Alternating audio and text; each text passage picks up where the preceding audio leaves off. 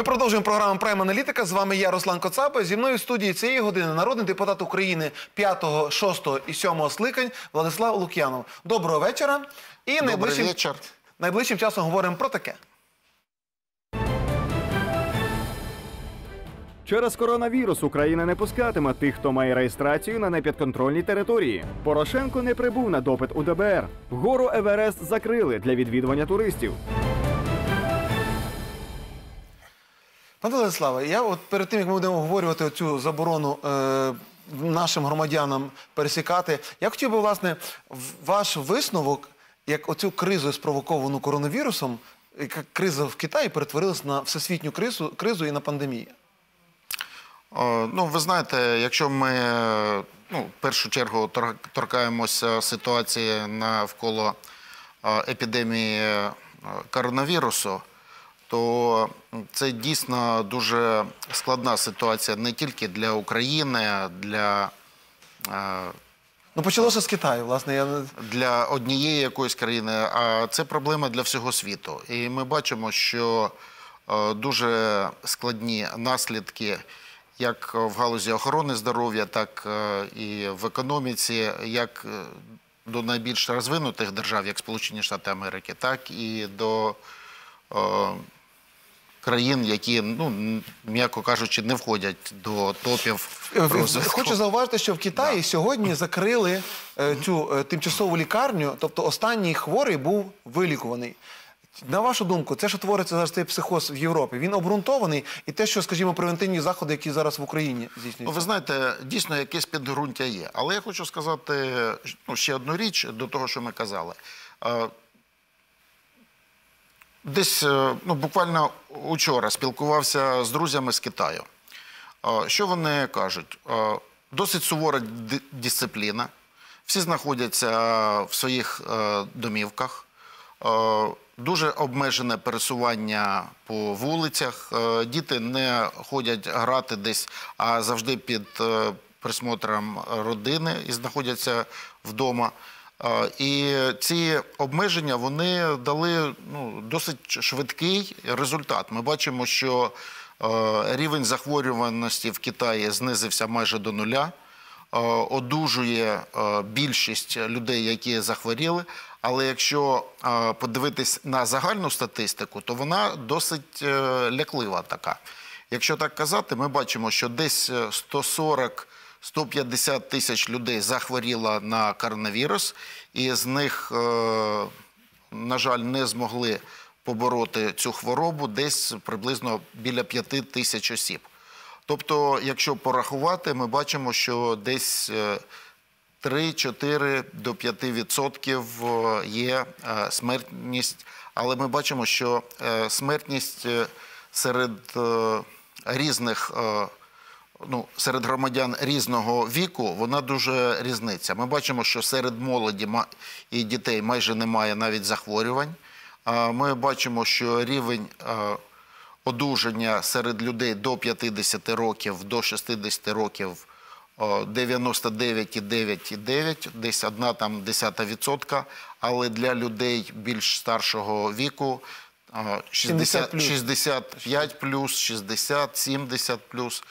Е, Є е, різні е, дані, не хочу якось спровокувати. Дякую. І якісь- повертаємося але до там дуже страшні. е, І повертаємося до українських реалій. На непідконтрольній території більше 10 випадків захворювання на коронавірус. Це попередня інформація, яку оприлюднили сьогодні на кабінеті міністрів. Міністр внутрішніх справ Арсен Ва- Аваков. Він запропонував ввести певні обмеження на час запровадження карантину. Ми пропонуємо е, режим обмежень для іноземних громадян 100% по пунктам зіткнення нашого на пунктам пропуска. І ми пропонуємо пропускати громадян України, які мають реєстрацію на неокупованій території, для того, щоб мати більший контроль. Зараз ми маємо інформацію попередньо о 12 случаях коронавірусу, які є розповсюджені в Горловці. Тому ми повинні зробити контроль. Тоді з вашого Тобто, якщо громадянин України мешкає в Горловці, тобто, наприклад, не підконтрольній нам окупованій території, має там місце реєстрації, він не може бути пропущений на територію України, поки діє э, карантин. Власне, пане Владиславе, ви е, як колишній депутат, один з найяскравіших депутатів, які були в партії регіонів. Е, Всі знали, що хто такий Владислав Лук'ян, не треба було пояснювати. Але при тому всьому, наскільки я знаю, що ви родом теж з Донецька, Так. і вас е, не бу- теж болить. І на вашу думку, оце чи не використовується от сама е, ситуація з коронавірусом, з поширенням коронавірусу, для того, щоб навпаки нас ще більше розвести? Ну, давайте э, посмотрим на эту ситуацию. Если мы видим про риски для Украины и э, пробуем оценить их с точки зрения здравого смысла, то э, риск э, занесения коронавируса в Украину, он идет от, э, ну, на сегодняшний день больше из Европы, потому что Украина, открыв границы и получив безвиз, мы стали активно общаться со странами Евросоюза.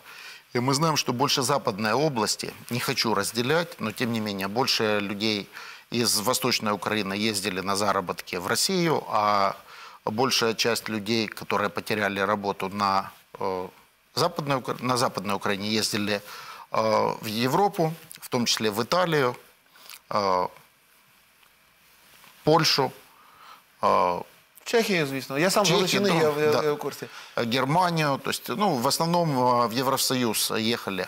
А Восточная Украина ехала работать э, в Россию, э, кто-то в Казахстан, Беларусь, кто-то в Китай, но это небольшие. В основном разделились те, кто ездили на заработки в Россию и в Европу. Мы видим, что Россия приняла достаточно жесткие меры по вирусу, и на мировых э, новостейных лентах не слишком много информации о заболевших. Есть, но это единицы. Дякую. По Европе мы видим сотни трагических последствий, особенно в Италии. С Италией у нас достаточно тесные связи. И здесь, наверное, нужно реально оценивая ситуацию, э, ну, более, более четко контролировать э, разными тестами, э, возможно, ну, вот, очаги распространения и заболевших. Дякую. У нас є телефонний дзвіночок. Доброго вечора. Хто ви? Звідки ви? Ви в прямому ефірі? Е, Добрий вечір. Е, Добрый вечер. Це Фелікс, це місто Очаків, Миколаївська область. Е, Таке запитання. Е, Ну, всі знають, що е, за місяць в Україні вмирає від обичного грипу намного більше людей, ніж від коронавірусу. Зараз ми знаємо підтверджений тільки один випадок, і то можливо тому, що та жінка поздно звернулася до врачів. От. Е, може трошки не по темі запитання, але скажіть мені, не є це дії влади, оцей карантин, для того, е, щоб е, уникнути масових зібрань, несанкціонованих мітингів в зв'язку з останніми е, діями, які були в Мінську. От. Е, потім з тим, що сталося з паном Сівохой і все остальне. Це як один із методів прекращення масових мітингів. Я понял вопрос, и вы знаете, я бы ваш вопрос разделил на две части. Один вопрос. э, Является ли реальной угрозой э, угроза заразиться и умереть от, вир- от коронавируса? Учитывая прогнозы, которые сделали крупные научные центры, может оказаться так, что до 80%, а может быть и больше, граждан э, ну, жителей планеты Земля, то есть всех людей, переболеют этим вирусом. И то, что сегодня этим вирусом болеет там, 2-3%, 1% от населения, от общей э, численности, и мы имеем смертность среди людей старшего возраста на ур- выше 10% по некоторым цифрам, а есть цифры 15%, некоторые дают больше цифры. Сегодня этой статистики э, нету в полном объеме. То есть это опасная заразная болезнь, особенно для людей старшего возраста. Я это воспринимаю как факт и не вижу здесь никаких манипуляций. Но то, что делается с этой информацией и как власти используют э, э, разно- разного рода ограничения, ну, наверное, можно использовать по-разному.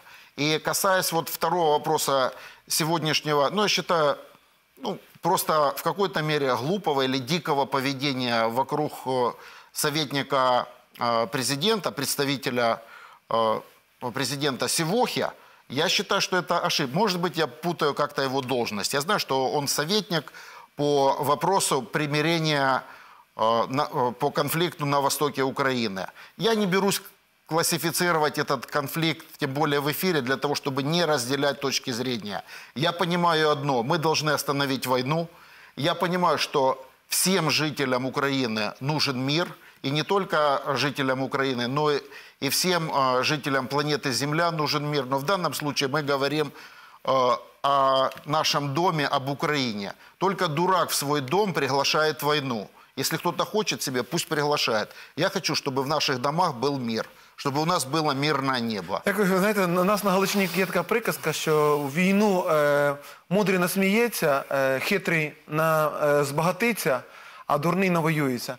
Е, ну, е, є, те, я нічого Пане не... Руслане, я не хотів би, щоб ми хоч сміялися, хоч хтось збагачувався, тому що збагачуватись на війні, ну це є мародерством. Я, І от, це, і- стародавня і це- приказка, е, вона, факт, вона показує И те, к що... людям, которые зарабатывают на войне, я отношусь с презрением. И я думаю, что большинство людей не уважают тех, кто на крови делает хоть какие-то деньги. Это стыд и позор и проклятие этим З людям. вами теж погоджуюсь, і погоджуюсь теж я з дозвонювачем, бо тому що навіть якщо врахувати, що, скажімо, у нас е, щодня помирає е, по, по 10, понад 10 людей е, в- від ускладнень ту- туберкульозу, тобто як наслідок туберкульозу хворіння. В нас е, 150 тисяч хворих на дифтерію. Це при тому на 40, е, на 40 кажуть, вже менше е, мільйонів населення. Це при тому, що в Китаї на півтора мільярда е, стільки по- по- померло е, три- 5 тисяч, нехай так. 5 тисяч, і було хворих 150 тисяч захворіло. Тобто Ну, це співвідношення... в- у всьому світі, це не тільки в Китаї. Ага, це це в цьому цифра. світі. Гаразд, значить ще телефонний дзвіночок. Доброго вечора, в прямому ефірі. Добрый вечер, студия. Мне бы хотелось все-таки затронуть э, э, иммунную систему. Очень хорошая иммунная система мо- может противостоять очень многим вирусным заболеваниям. Но коль у нас страна самая бедная в Европе, и тем более 60-70% у нас живет ниже бедности, поэтому мне кажется, что столько-то такой же процент будет и смертности. И от туберкулеза, и от гриппа, и вирусного заболевания, которое нас захлестнет. И поэтому вопрос у меня такой. Вообще будет, вот ну, РНБО собирается спрашивать, если там вопросы поднимаются о том, чтобы как усилить иммунитет, пенсионерам особенно, которые страдают будут от этих заболеваний, будет ли у них питание продаваться дешевое, лекарства, обезболивающие больницы как для них. А ведь отмахиваются от всех этих. А это именно как раз это население слабо, очень слабое, по-моему, и вымрет все, если на РНБО такие вопросы не поднимают и даже не думают говорить о- об этом. Дякую. Знаете, Микола. вот замечательный вопрос. Вопрос не в бровь, а в глаз. Вопрос, что думает правительство, что д- думает парламент о том, что можно сделать для людей. Вот сегодня спроси у любого человека, вот верит он в то, что э, ну, не хочу говорить слуги народа, вообще депу- депутатский корпус сегодня присутствующие в парламенте, ну и, конечно, на слух народа в первую очередь ложится ответственность, потому что они имеют большинство в парламенте. Они реально думают о том, чтобы нам стало жить лучше? Ну, у меня есть как минимум ну, большие сомнения. А с другой стороны, с другой стороны, действительно факторы здорового питания, хорошего самочувствия, проживание в теплых квартирах, отсутствие стрессов являются факторами, которые повышают иммунитет.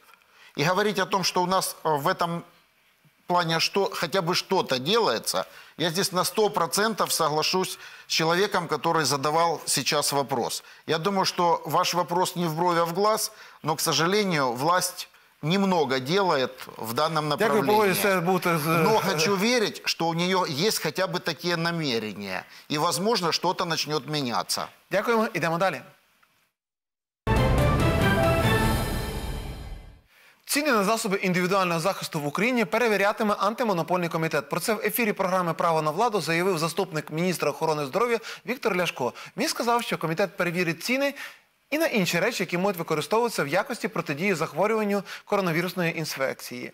Е, Спекулянтів притягуватимуть до відповідальності. На цьому наголосив і президент сьогодні. Володимир Зеленський був здивований, як швидко нечесні бізнесмени підвищили ціни на необхідні медичні засоби.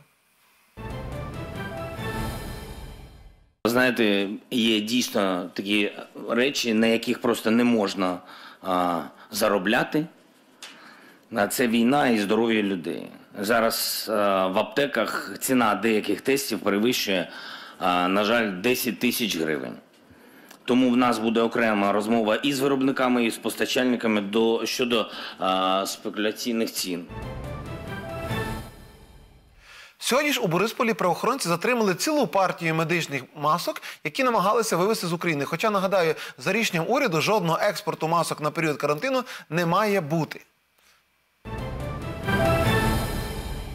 Зранку арестували в Борисполі груз полтори тонни медицинських масок, які е, готувалися і прямувалися до Ем- Арабських Еміратів та е, Риму. Це два різних випадки. Два, ну, це один груз, два випадки. Да. І всупереч рішення уряду, яке наложило заборону на цей випадок. Зараз маски конфісковані, уголовне провадження має місце, буду доповідати. Я вважаю, що ці маски будуть працювати на українців. Пане Владиславе, власне, тема актуальна, бо тому що е, я розумію, там тестові системи, там треба якісь Пане технології. Руслан, питання. Питання таке: чому Україна не може забезпечити е, елементарні марлеві пов'язки? Це ж, по-моєму, копійки коштує навіть зараз включити в можливості, тим більше резервний фонд мав би бути. Руслан, ну давайте вот просто марлевые повязки не сыграют большой роли. Я вот готовясь к эфиру рассматривал материалы. Сам э, э, вирус, он достаточно маленький для того, чтобы мог быть задержан простой марлевой повязкой. Нужна специальная ткань, которая применяется для масок, которая сдела- сделана э, способом э, вот Мембрана. Про- происходит либо мембрана, либо волокна плотно сделанные. Просто марлевая повязка, она не будет эффективна, если будет, то очень короткий период.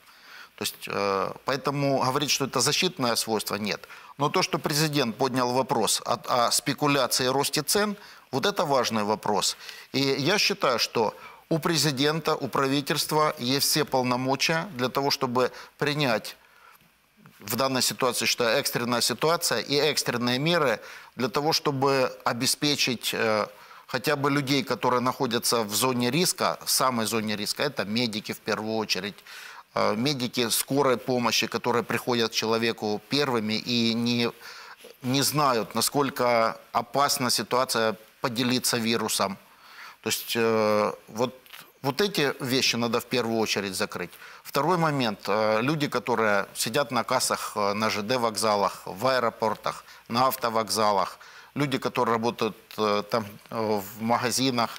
Вот если сегодня прийти в крупные магазины, мы видим, что на кассах девочки сидят без масок, а проходят сотни людей, и риск получить вирус – если есть человек, который хотя бы носителем является, не обязательно он сам заболел, но он уже является, может являться носителем вирусом, а симптомы проявятся через неделю, через пять дней. То есть вот эти вещи должны быть прописаны, эта реакция должна быть правительства. Вот то, что мы сегодня услышали от э, министра внутренних дел, от президента, ну, это уровень обеспокоенности, это не уровень системной работы. Поэтому нужно специальное заседание, обязательно нужно советоваться с медиками, рассматривать систему обеспечения медикаментами и средствами защиты в разумных пределах, а иногда, может быть, лучше перебдеть, чем недобдеть. То есть э, вот эти моменты должны быть четко отработаны и доведены до всех граждан Украины для того, чтобы снизить уровень необоснованной тревожности и страха. Ну але ж ви погоджуєтеся, що саме слово спекуляція це з минулого століття. Ну невже не можна, е, ти- це ж дешеві вироби, це ж не комп'ютер, це ж не технологія на айфон. Невже не можна того наштампувати? Мені здається, тут якраз іде саботаж на рівні того, що хтось з крупних таких чиновників, власне, мегапартія, а ті, що там по дві сумки возять пов'язок е, контрабандою. Руслан, я не думаю, что в данной ситуации есть какие-то злонамеренные действия. Вот вопрос спекуляции, он в украинском языке где-то сродни халяве. И вот эта вот наша вера в какую-то халяву, то, что вот можно что-то сделать, продать две сумки масок и заработать что-то. Ну, какие-то деньги можно заработать, наверное. И здесь делают люди не из злонамеренности, а из невозможности заработать другим способом. Я не стал бы вот на тех, кто хочет, используя как нашу украинскую хитринку и такую природную сметку, быстренько заработать. Там продать китайцам подешевле, еще куда-то. Хотя я считаю, что это уважение не заслуживает э, во время пожара воду продавать. Дякую. У нас є телефонний дзвіночок. Доброго вечора. Прямому ефірі. Зірвалося. Гаразд. Тепер продовжимо. Ви мене заінтригували. Я собі пригадав, що ми от вчора розмовляли, е, обговорювали тут в студії е, психоз, який твориться в магазинах і, власне, відповідно на ринку валют, тому що це все одно друге провокує. Люди починають за- закуповувати товари навіть залежалі, якісь там підпсовані. Е, Ну, власники, напевно, мереж супермаркетів Ну, э, давайте говорить. Мы у- э, сегодня телевидение, интернет позволяет практически за мгновение получить информацию по, в- по всему миру. Мы видим, что пустые полки о, в западных странах, мы видим пустые полки даже в Китае, там, где все организовано, большая машина работает и по обеспечению, по контролю, по организации. То есть мы видим, что ажиотаж – это ну, наше природное свойство, никуда мы не денемся ну, не нужно быть большим провидцем, чтобы предположить, что такое может быть и у нас. Я не говорю, что будет, но может быть и у нас. А- И каждый в этой ситуации подумает, ну не купить мне там чуть-чуть сгущенки или тушенки, под, под- под- под- ну, подстраховаться. И вот когда сегодня объявили о том, что умерла первая женщина-украинка от коронавируса, когда мы слышим, что появились десятки э, носителей вируса или десятки э, заболевших, а, наверное, эти цифры больше. То есть мы понимаем, что эта эпидемия подходит к Украине. И здесь, мне кажется, что лучше а, э, вот, правительству и местному самоуправлению, наверное, нельзя стоять в стороне. Но в первую очередь, конечно, это будет все равно Министерство охраны здоровья. Э, Нужно принять ряд организующих моментов, потому что именно элементы организации, сокращение общения межличностного, какое-то дистанцирование, при том, что мы привыкли с друг другом общаться, вот когда встретились вот, две кумы еще, чтобы они три раза не поцеловались, но не может быть. А сегодня ради здоровья и выживания нам нужно отойти друг от друга. И здороваются уже, там начинают там локтем, там еще как. Ну, это За- за- и смех, но и в этом есть рациональное Зауваження, зерно. я в це вик- не, не, не, не втомлюся повторювати. Частіше мийте руки з милом чи, скажімо, дезінфікуйте їх ти засоби. Хоч і ви знаєте, минулий тиждень ми робили е, програму про цього е, малюську. Е, Це новий міністр юстиції, який, до речі, зараз він новому уряді теж перейшов, який хотів попіаритись на тому, що знищував 40, е, здається, тисяч пляшок контрафактної горілки виливали е, в унітаз, замість того, щоб дійсно е, зробити разом з якимось дешевим гелем оці такі продезінфікуючі засоби. Гаразд, ми йдемо далі. Петро Порошенко не прийшов на допит в ДБР. Сьогодні вранці його чекали слідчі бюро. Журналісти видання «Страна.UA» стверджують, що п'ятий президент нині перебуває за кордоном, і там він начебто чекає на призначення нового генпрокурора. 6 березня п'ятий президент України був на допиті в Державному бюро розслідувань. А наприкінці лютого Порошенка в ДБР допитували у двох справах як свідка. Ви знаєте, я би, о, користуючись владою тут, е, що я... Ведучий, так, розумію, ведучий, давайте може ми е, про політичних трупів е, не будемо так багато Ну, говорити. ви знаєте, е, може декілька словами, якщо казати. Я вважаю, що для як для поточної влади, так і наступної, ну не буде якимось проривним напрямком зведення рахунків з попередниками. Ви що, вважаєте, що нема за що його садити? Е, По-перше, я не суд, не адвокат, не прокурор. Як громадянин. Ні, не для того, щоб захищати. Я думаю, що політичну оцінку він отримав е, на виборах, коли більшість, е, ну, 75%, грубо кажу, проголосували за Зеленського. Якщо діючий президент і користуючись повноваженнями поточної влади, і користуючись рівнем е, впізнаності на рівні 100% не зміг е, отримати достойний рівень, цього досить. Про обдохлих котів не потрібно витирати ноги. Треба йти далі, дивитися у майбутнє і планувати е, ті речі, які дійсно для держави і для людей, для громадян в першу чергу йшли б на користь. Я і, і, в цьому, і в цьому плані я з вами погоджуюсь, що IT-технології, стартапи, вони мо- можуть приносити е, громадянам, державі, людям більше надходжень, ніж, е, наші, ніж те, що є для нас найбільшою гордістю. Пане- Наші чорноземи, землі це і питання закону про землю це також питання. Пане Владиславе, Так. але ці ситуації, от ви депутат е, досвідчений, ви керували комітетом в Верховній Раді, ви тричі обиралися. Ну, ваш прогноз. чи- Я розумію, кожна влада колись Давайте, стане опозицією, кожна опозиція стане владою. Е, Чим закінчаться ті всі справи в ДБР і переслідування Порошенка? Ваш прогноз? Ну, мне тяжело делать прогноз. Я думаю так, если человек виноват, и к нему есть конкретная претензия, претензии должны быть четко сформулированы и понятны каждому гражданину. Э, Есть э, набор вопросов юридического свойства. Человек должен ответить. Не может ответить, должен отвечать по закону. То есть вот это мой четкий, простой ответ. Но я не хочу шельмовать никого, кто, не дай бог, окажется по ту сторону закона, либо действительно совершив проступок, либо оказавшись обвиненным. Дякую. Ми йдемо далі. Впродовж двох днів біткоін втратив 50% ціни. Це стало одним з найбільших падінь криптовалюти, повідомляє Bloomberg. Так, біткоін знизився до 3915 доларів або на 32% найслабшого показника ще з березня минулого року. Відтоді він зміцнив позиції. Станом на 13 березня на біржі Гонконгу криптовалюта втратила 7,8%. На найпотужнішій біржі Binance криптовалюта втратила близько 40%. От, власне, я знаю, що ви компетентні в цій темі. Поясніть, будь ласка, нашим глядачам, вони переважно старшого віку, що це таке біткоін і, і чи, чим це загрожує ймовірно для економіки України? Чи Ну, світу? давайте говорить. Вот э, есть понятие государственные деньги и частные деньги.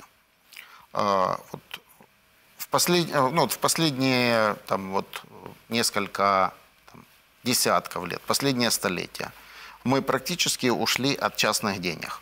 В то же самое время, если мы хоть немножко э, перевернем одну-две странички назад, мы увидим, что в истории очень много примеров, когда а, купцы сами чеканили монету. Это была золотая, серебряная монета. И каждый ставил, и ставя свое э, клеймо, ювелиры занимались это, они гарантировали качество и содержание драгоценного металла. И зачастую эти деньги были гораздо более надежные, чем бумажные облигации, обязательства правительств, государств, царей. То есть, э, поэтому э, вот в, в экономической истории есть примеры, когда частные деньги более надежные, чем государственные. Почему это, обвалилось? это, пер- это первый момент. Второй момент. На сегодняшний день уровень э, развития современных технологий, цифровых ин- интернет, компьютерных технологий, позволил создать частные деньги, которые защищены лучше, чем государственные. Э, В то же самое время эти деньги являются остро спекулятивным активом.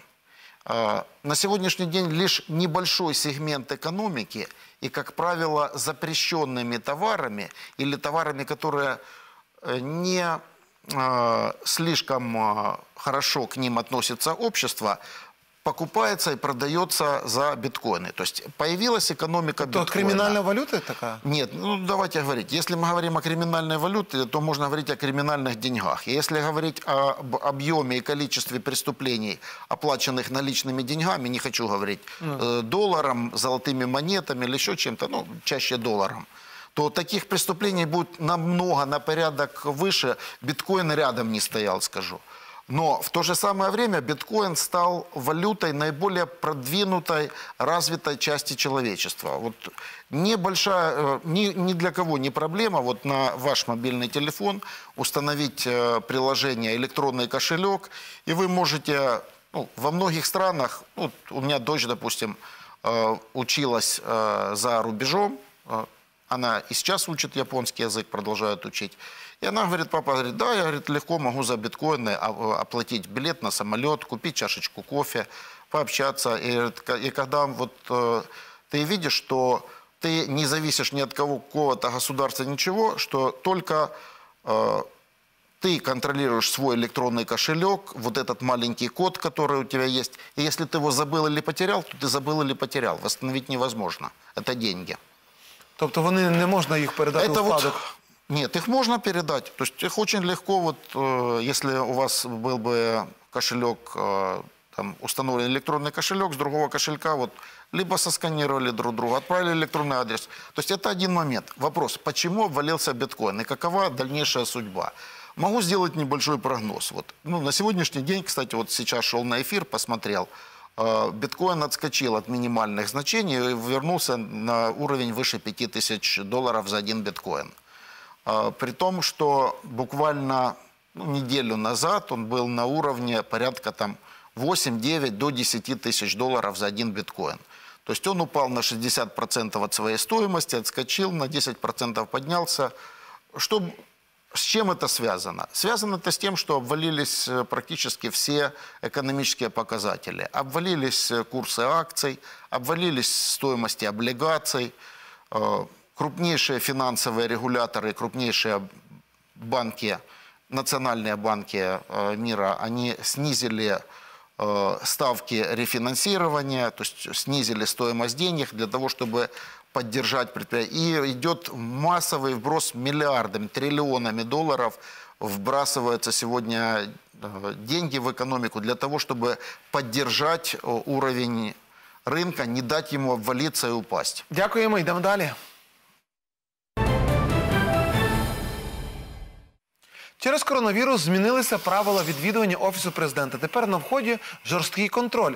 Відвідувачі пропускають лише після вимірювання температури тіла. Так вчинили і журналістам, які прибули на брифінг за результатами засідання РНБО. На вході до офісу також стоїть ємність з антисептиком для дезінфекції рук та розміщено стенд із порадами, як уберегтися від коронавірусу. Раніше правила відвідування змінили і у Верховній Раді. Була різна дискусія щодо рівня обмеження доступу до будівлі Верховної Ради України. Були різні думки. Ми багато спілкувалися з представниками всіх депутатських фракцій та груп і досягли консенсусу, тому що була е, пропозиція повністю обмежити доступ, і в тому числі для журналістів. Однак ми розуміли, що ви все рівно будете працювати, працювати на вулиці. Я думаю, що це некоректно і неефективно було б по відношенню до вас, і по відношенню до якості е, е, спів, е, співпраці е, між народними депутатами і представниками засобів масової інформації. Тому було прийнято рішення, що обмежити е, доступ е, для всіх, окрім журналістів, для того, щоб ви могли працювати тут, е, на третьому поверсі, в залі, е, фактично для який передбачений для роботи е, представників засобів масової інформації.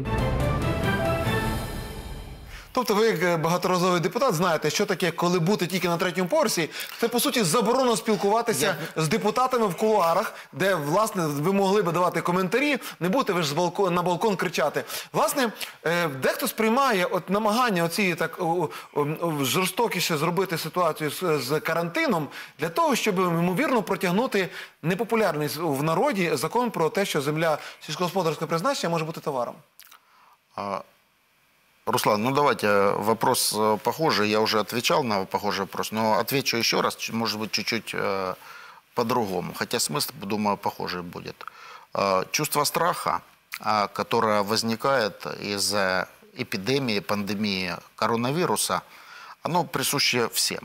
Его можно использовать по-разному. С одной стороны, страх используется для того, чтобы выжить и э, меньше получить ущерба, и э, меньше ущерба для здоровья, для имущества, для чего угодно. И страх можно использовать для того, чтобы человеком манипулировать.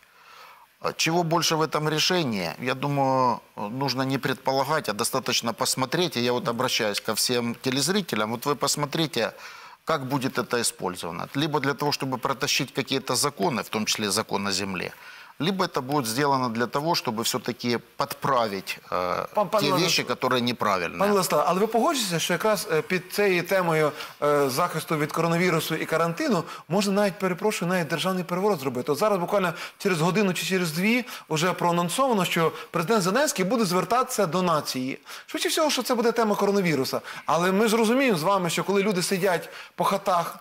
По паніці і їм заборонено збиратися більше 30 чоловік, можна будь-що робити, або забороняти будь-що, де, де, ви мо- де, е, коли люди обурені виходять на вулиці. Руслан, ну отвечу где-то вашими словами. Для одноразовых депутатов, как вы говорите, то, наверное, для них есть возможность один раз э, сделать э, какие-то вещи, которые ну, никогда не стоило бы делать. А для тех, кто пришел не один раз, и для которых не задача, не самоцель прийти там в парламент один раз, еще чем-то, э, не вопрос выиграть выборы, а вопрос э, сделать что-то полезное для людей из того округа, где ты работал. А, И несмотря на то, что я сейчас не депутат, я не стыжусь смотреть в глаза не тем, для кого работал, не тем, э, вместе с кем работал. То есть э, я, и, о- и вот э, я считаю, вот это является главным для любого политика, начиная от президента и заканчивая там, депутатом самого маленького, маленького местного Це, дякую вам, це, це, це зрозуміло. Але, наприклад, ми ж з вами е, розуміємо, що, Що не так? Що, ні, справа в тім, дивіться, ви ж починали про Китай. Китай, по суті, виявився в економічній е, ізоляції. Е, Ми бачимо зараз вчора. Я не е, можу вчора. Вчора пан Шмигаль доповідав, перепрошую, пан Шмигаль вчора доповідав також, і він теж все скидає, те, що е, падіння курсу долара, е, ну те, що гривня е, зараз е, знецінюється, теж будь то це коронавірус, ми не винні. А те, що економіка не запущена, то вони навіть про це не говорять. А, Ну, давайте. Пан Шмыгаль а, работает а, на посту премьер-министра, ну, от силы там чуть больше недели, ну, там, 10 дней от силы. И э, я ему не хочу, то есть вот я ему точно не адвокат и не защитник, но вешать на него все, ну, это непрофессионально и нечестно. Это один момент. Второй момент. А, Эпидемия действительно угрожает угрожает всем странам и таким развитым, как Китай, США, Россия, э, европейские страны, и таким странам, кото- у которых уровень развития чуть ниже. Я не хочу там говорить, вот как противопоставлять, потому что я считаю, Украина это европейская страна, к- у которой очень развита, ну не буду ра- ра- расписывать э, тех массу наших преимуществ и возможностей, которые мы, к сожалению, не используем. К, обо- к огромному сожалению. Э, Скажу э, одно, что вот когда вы сказали, что Китай ограничен. Китай не ограничен. Я работаю с Китаем, и у меня много друзей в Китае. На сегодняшний день восстанавливается работа предприятий. Многие предприятия не останавливали работу, особенно там, где автоматизированное производство. Они работают, и на сегодняшний день на их продукцию уже стоит очередь. И вот ты хочешь разместить заказ, говорят, вот очередь, даже предоплату, говорят, мы у вас примем через месяц-полтора, потому что в- на ближайшие 2-3 месяца заказы Це я би сказав, що це оптимістична новина, бо дійсно Е, ні, більшість це- наших товарів, які ми користуємося повсякденно по в побуті, це Ну, китайського виробництва. Да, это, это касается, начиная от одежды э, и высокотехнологичных разных э, производств, в том числе и телефоны. Так, дякую. Гаразд, е, переходимо до останньої теж доволі таки позитивної теми. Туристи та альпіністи до кінця сезону, тобто до- до 30 квітня, не матимуть змоги потрапити на Еверест, пов- повідомляє BBC News. Уряд Непалу закрив гору для візитів. Причина карантин через пандемію коронавірусної інфекції. До того ж, всі видані дозволи на відвідування Евересту будуть скасовані, повідомив речник прем'єр-міністра Непалу Нараян Прасад Бідарі. Також він порадив усім, хто приїхав до Непалу, відбути 14-денний карантин.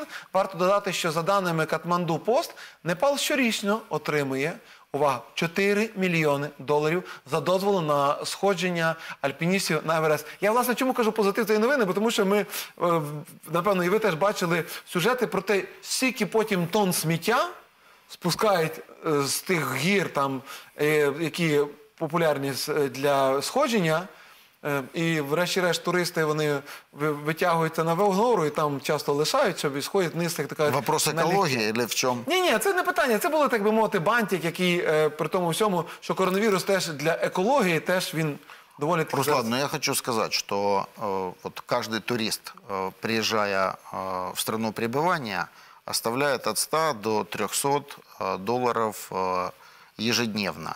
И любая страна, в том числе и Украина, Дякую, всі постраждали вот, від э, цього, индустрию гостеприимства должна развивать. И это не только хорошо для имиджа, Дякую. но Дякую. и для Дякую. экономики. Я дякую нашому гостю. Протягом цієї години зі мною в студії був народний депутат України 5, 6 і 7 скликань Владислав Лук'янов. Це була програма Прайм Аналітика. Усі наші ефіри ви можете дивитися на сайті телеканалу tvkrt.com.ua.